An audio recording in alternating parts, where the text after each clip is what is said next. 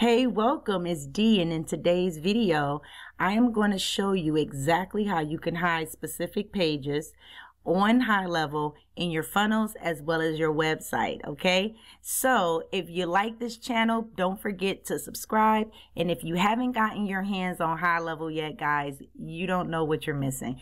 Go ahead and use my affiliate link below. Grab you a 14 day free trial. And when you do, make sure you notify me and let me know what email address you use to sign up with.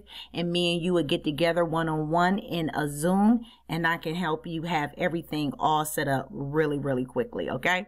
So without further ado, let's jump into this computer so you can see exactly how you can hide these specific pages. So now we're in my uh, white labeled software of uh, Go High Level and we're going to go over here to the sites. And then, of course, this works for both funnels and websites, guys. But we're going to go over to the website where I have my test demo folder. We're going to go into the hair salon site. Now, there's three pages in this website demo.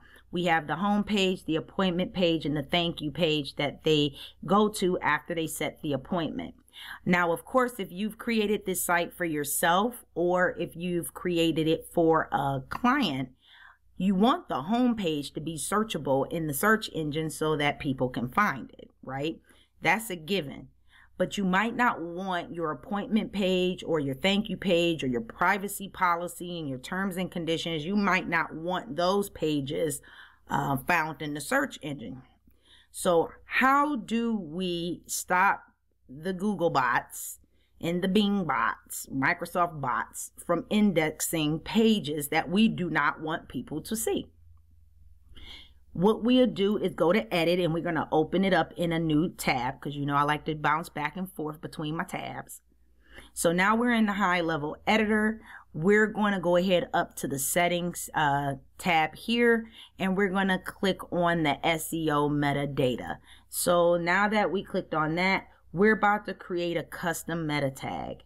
We're going to add, and we're going to name this tag robots because we want the robots to no index this page. And we're going to save and we're going to update the metadata. And then we're going to save the page.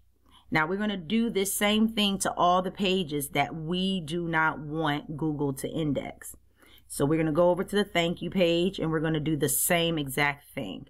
We're going to go up into the settings, go into the SEO metadata. We're going to come over here to the custom tag.